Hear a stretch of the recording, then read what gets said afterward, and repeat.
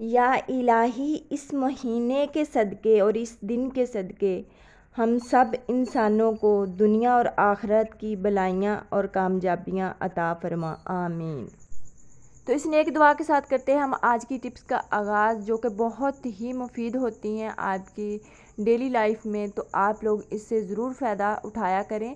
बहुत easy easy सी मैं tips लेके आती हूँ ताकि आप लोग इससे बसानी फ़ायदा उठा सकें। तो चले चलते हैं, करते हैं हम आज की टिप्स का आगाज़। असलकुम कैसे हैं जी आप सब? आई होप कि आप सब लोग खैरियत से होंगे। अल्हम्दुलिल्लाह, मैं बिल्कुल ठीक हूँ और आप सबको मेरी तरफ़ से जुमा मुबारक हो। तो चलें जी, करते हैं पहली टिप्स का आगाज़। टिप नंबर वन, मेरी बहुत ही ज़बरदस्त होने वाली है हर लेडी के लिए। तो पहले भी मैंने एक वीडियो में टमाटरों को सेव करने का तरीका बताया था। अगर आप लोगों को वो मुश्किल लगता है तो आप लोग इस वीडियो से इस टिप को फॉलो कर लें ताकि आप इस महँगाई में टमाटर ख़राब होने से बचा सकें। जैसा कि आजकल बहुत ज़्यादा लो शेडिंग हो रही है और गर्मी बहुत ज़्यादा है तो टमाटर जो है ना फ्रिज में बड़े बड़े बेचारे वैसे ही गल जाते हैं।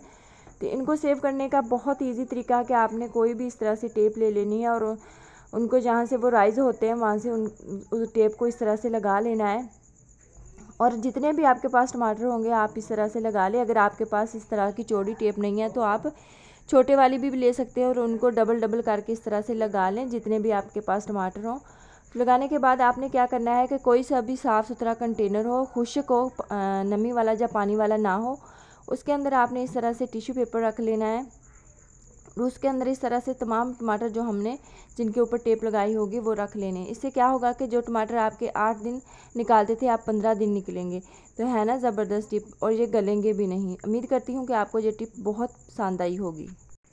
इन आपको ये फ़ायदा भी देगी। अब चलते हैं टिप नंबर टू की जानब।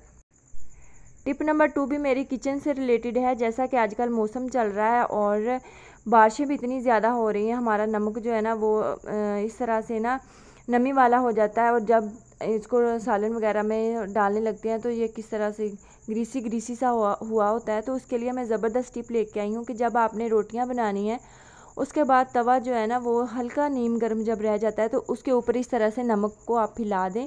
इससे क्या होगा कि इसका जो नमीपन होगा, वो दूर हो जाएगा और नमक जो है ना, वो बिल्कुल खस्ता हो जाएगा और आप इसको बसानी नमकदानी में भी ऐड कर सकती हैं और इस तरह से ये बहुत ही ज़बरदस्त हो जाएगा खुश तो है ना ज़बरदस्त टिप और बहुत ही आसान। टिप नंबर थ्री भी मेरी बहुत ज़बरदस्त होने वाली है। आमतौर पर जब हम चार पहियों को वॉश करते हैं तो इस वाली जगह पर अक्सर जो है ना वो मैल फंसी रह जाती है क्योंकि बड़ा ब्रश जो होता है ना वो वहाँ तक जा ही नहीं सकता।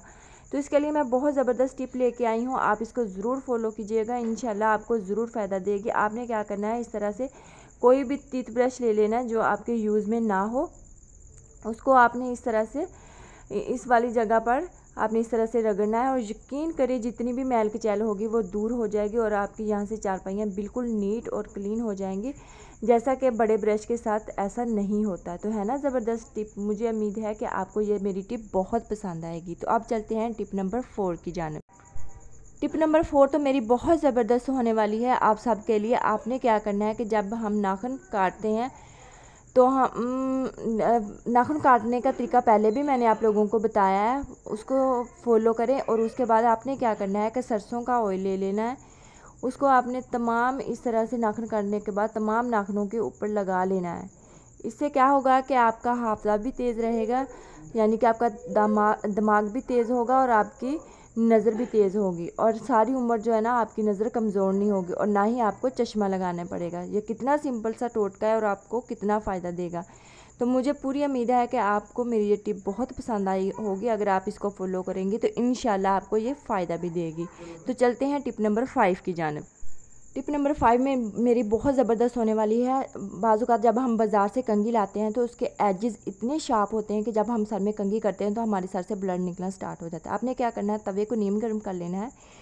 इतना भी ज़्यादा गर्म ना हो कि कंगी जो है ना, वो जल ही जाए। आपने क्या करना है? तवे को नीम गर्म करने के बाद उसको इस तरह से उल्टा कर लेना है। उल्टा करने के बाद जो कंगी आप बाज़ार से न्यू लेके आए होंगे, उसको इस तरह से थोड़ा सा प्रेस करना है। उससे क्या होगा, इसके जो एजेस शार्प होंगे, वो थोड़े से मेल्ट हो जाएँगे, जिससे हमारा सर जो ब्लड निकलने से बच जाएगा। और बच्चे भी बाजुकात सर से कंघी कराने से डरते हैं, वो इसीलिए डरते हैं। तो इससे बच्चों का भी फ़ायदा हो जाएगा और आपका भी। अगर वीडियो अच्छी लगी है तो प्लीज़ वीडियो को लाइक कर दें चैनल को सब्सक्राइब कर दें, दुआओं में याद रखना, अपना और अपने प्यारों का ढेर सारा ख्याल रखना। मुझे दें इजाज़त। अल्लाह हाफिज़। Bye bye